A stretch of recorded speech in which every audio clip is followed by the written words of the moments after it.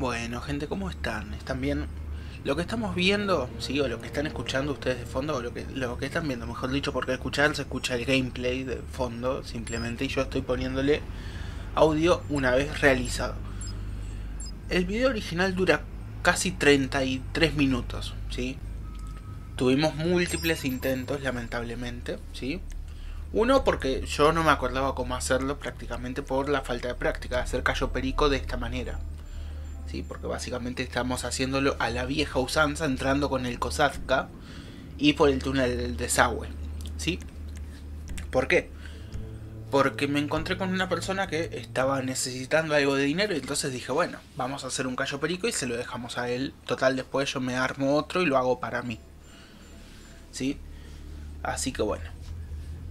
Eh, y de paso, eh, aprovecho, grabo y les traigo a ustedes una manera de hacerlo que no es la habitual, porque la habitual mía ya saben cómo es, con la longfin y entrando por el aeródromo o por cualquier eh, orilla de la isla cambiándome con la ropa de los guardias y llenando la bolsa antes de entrar al complejo. Así que qué mejor que aprovechar esta oportunidad para llenar la bolsa en el complejo.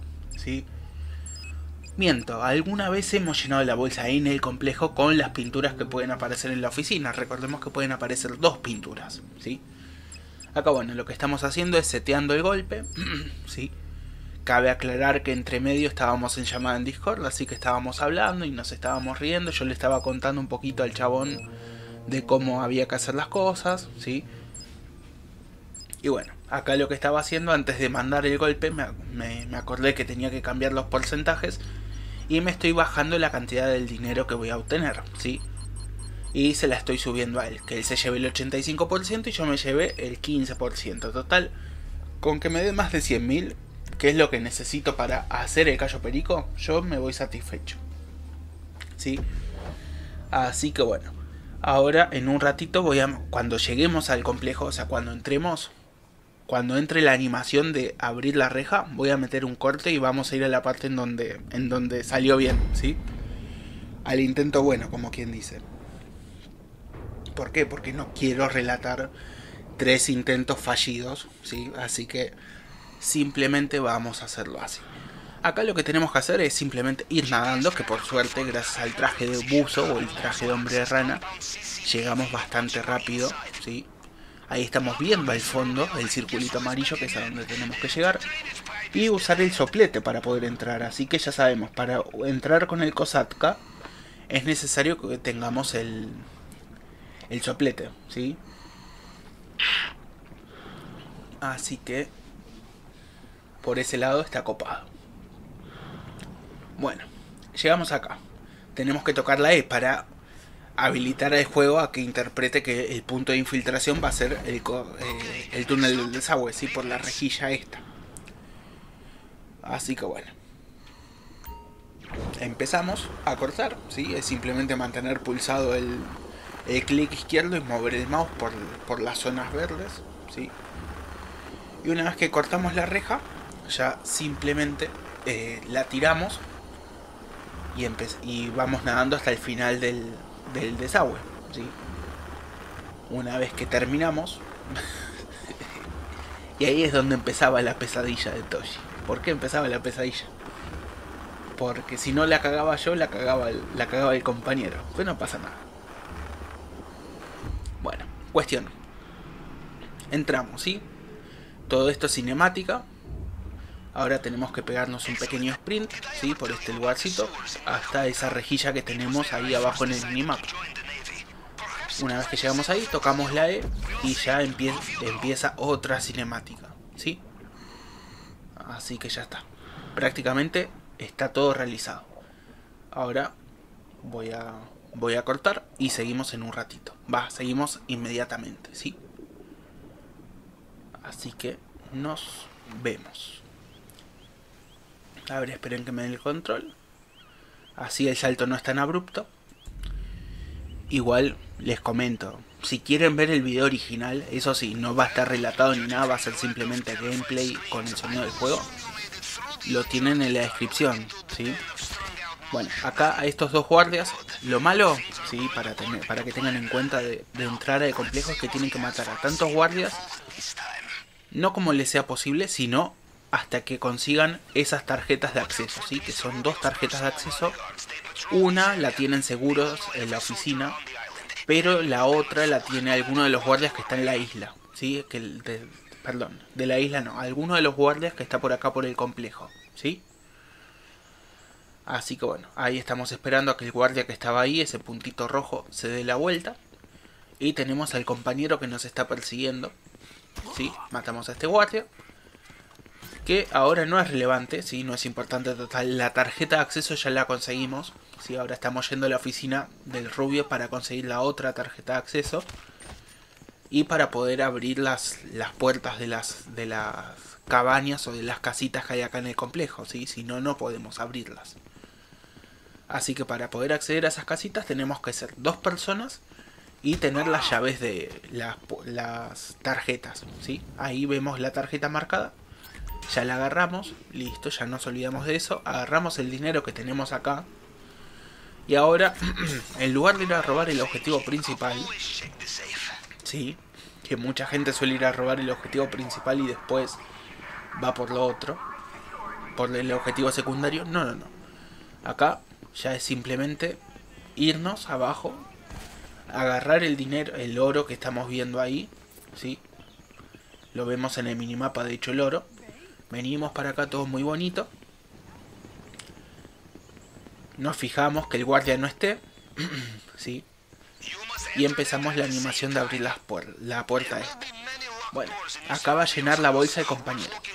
Uno se puede quedar afuera haciendo de campana para el guardia, para ver el guardia que viene, que está haciendo ese recorrido, ¿sí? el que vemos ahí al fondo de la, al fondo de la derecha.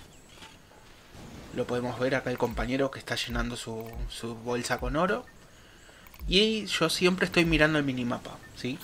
¿Por qué el minimapa? Porque ha pasado, nos pasó de hecho, que el compañero salió y alertó al guardia ese, ¿sí? Y tuvimos que matar al guardia ese. ¿Pero qué pasó? ¿El guardia ese dónde quedó? En la mitad del camino del Jaggernaut. Entonces, tarde o temprano lo iba a terminar descubriendo, ¿sí?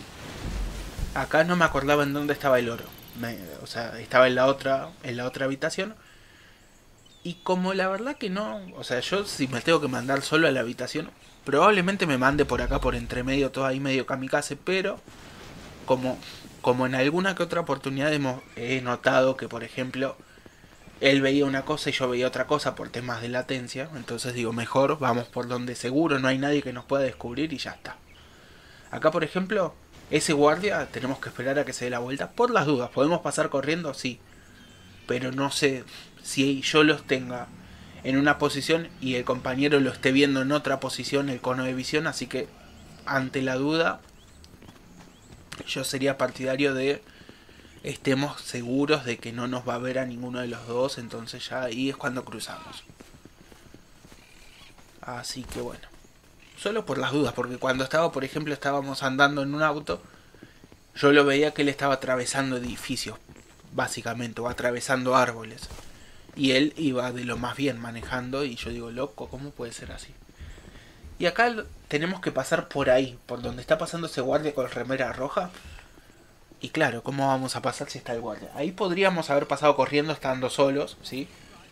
Pero nuevamente no sé qué es lo en qué posición se encuentra el guardia para mi compañero, así que mejor digo, no nos cuesta nada esperar unos segundos extra que haga el ciclo y pase de vuelta para el otro jardincito. Así que bueno, disculpen, ando mocoso por la época del año.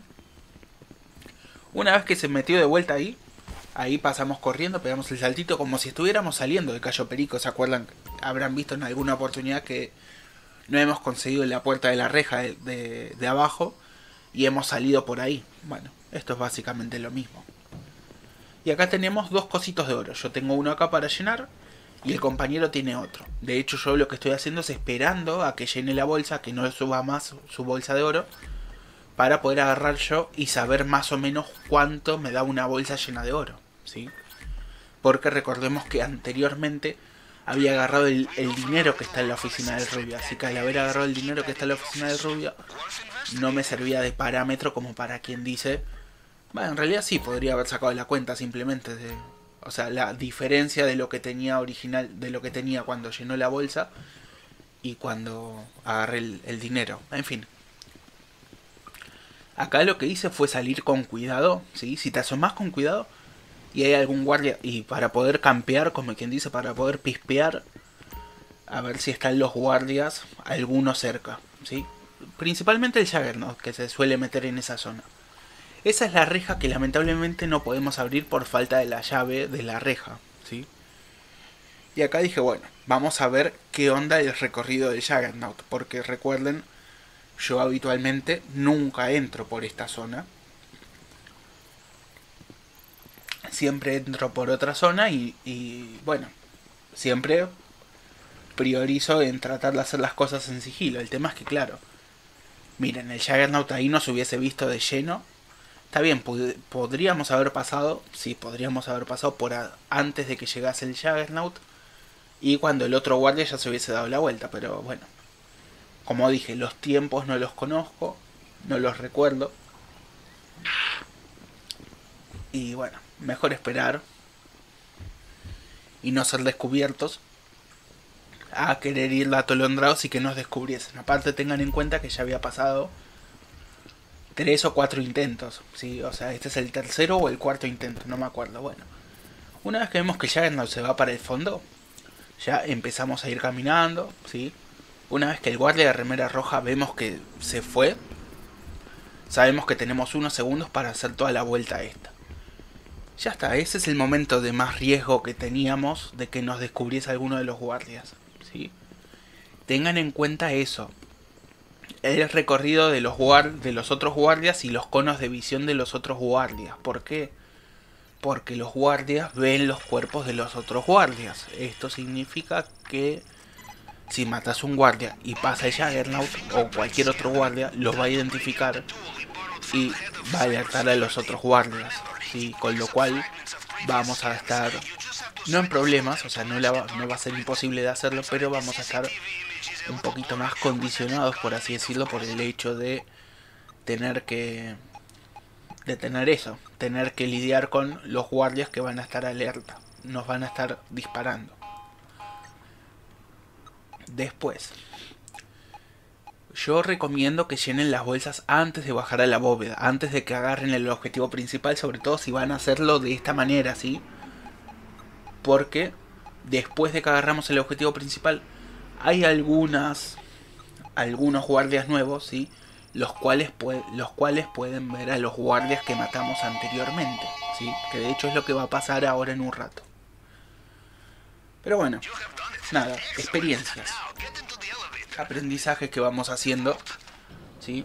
Con el, con el compañero. En fin, una vez que estamos acá, es lo mismo de siempre. Rompemos la reja, la, la cadena con el soplete agarramos el collar de rubíes con el cortador de plasma y ya simplemente es esperar a que podamos reclamar el collar de rubíes como nuestro. Ahí me quemé, por cierto, porque toqué de más el, repag ¿sí? para, para eso. Pero bueno, ya tenemos el collar de rubíes. Y bueno, veamos con respecto a otras veces la cantidad de botines, de la cantidad de dinero que nos llevamos, ¿sí? 1.837.000. Acá hay más guardias, ¿sí?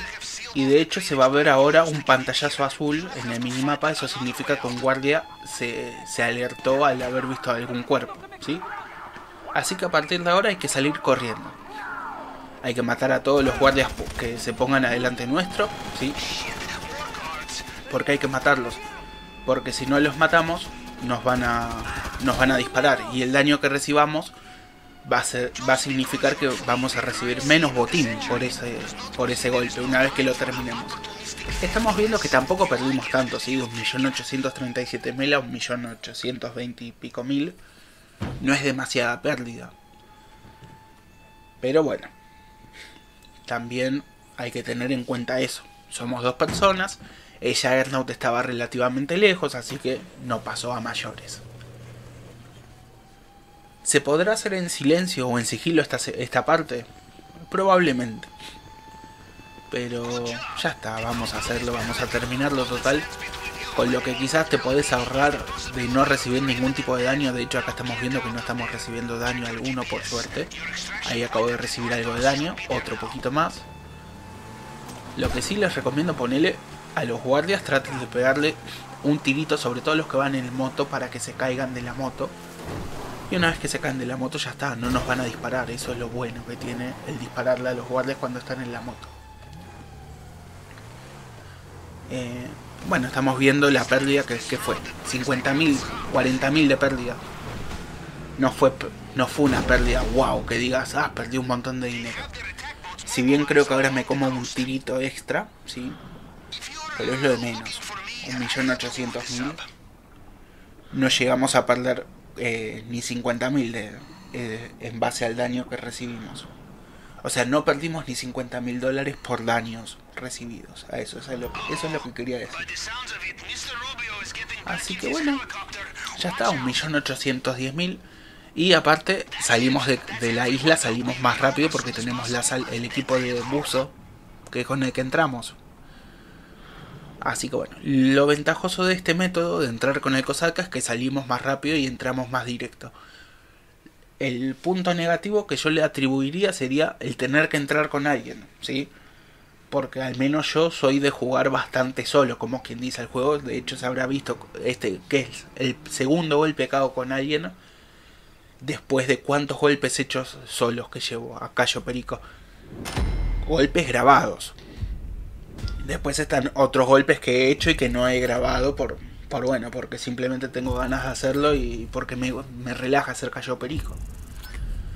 Ven acá, de hecho, está el porcentaje que es poquito, porque me llevé el 15%, pero el 85% restante se lo llevó el compañero, ¿sí? Que se fueron un millón trescientos y pico mil, creo. Y bueno, el desafío de Elite no estuvo hecho porque, nos porque reiniciamos el golpe. Pero bueno, ¿qué le vamos a hacer? ya está, listo. Escena de finalización del golpe. Ahí tiramos el limoncito con la lima. Y ya lo tenemos. Vemos de hecho el tiempo que fueron 13 minutos con 2 segundos. Así que si no lo hubiésemos reiniciado, el desafío de Elite lo hubiésemos completado. ¿sí? pero lamentablemente no pudimos completarlo. Y yo me llevé más de 100.000, así que me voy más que satisfecho que tengo dinero de sobra para poder hacer, para poder reclamarlo y hacer nuevamente Cayo Perico después. Nos vemos. Y ahí quería cobrar la recompensa, pero no podíamos porque estábamos en la misma organización y yo pendejo. Chau, chau.